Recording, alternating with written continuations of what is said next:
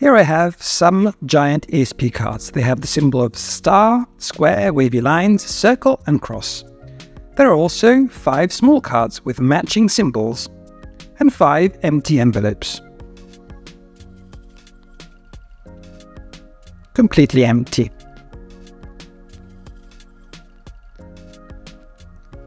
I'll take each of the giant cards and put them inside a different envelope. So one goes here,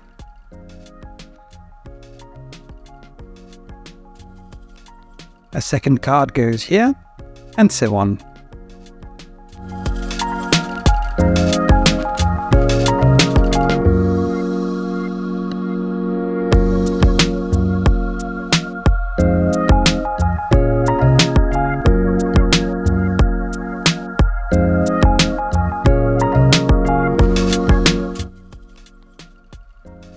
Now I'll shuffle the envelopes so that nobody knows where the cards will be. Nice and shuffled like this.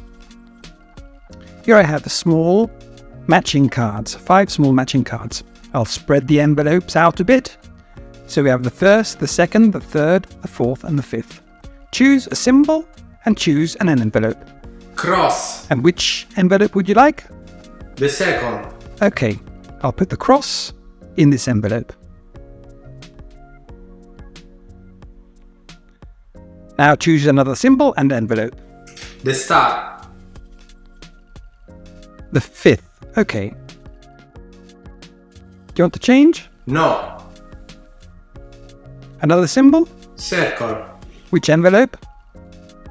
Okay. No, actually, I want this one. Okay, you want this one. I'll put it here.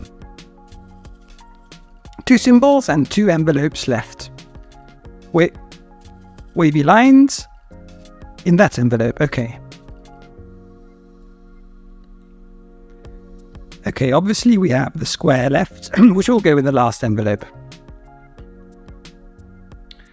I remind you that you put five, I put five giant cards at the beginning in the envelopes, then mix them up so that nobody could know where they were, and then you chose first a symbol and then an envelope. Let's see what happened. In this envelope, there was a large square. Let's see what you chose. And you chose to put here exactly the square. In this envelope, there was a large cross. And you put in here the cross. In this third envelope, there was a large circle.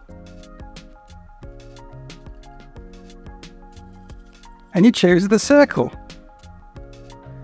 In, in this one, there was a star. And you chose the star. And in the last one, obviously, there was the wavy lines, and you chose exactly the wavy lines.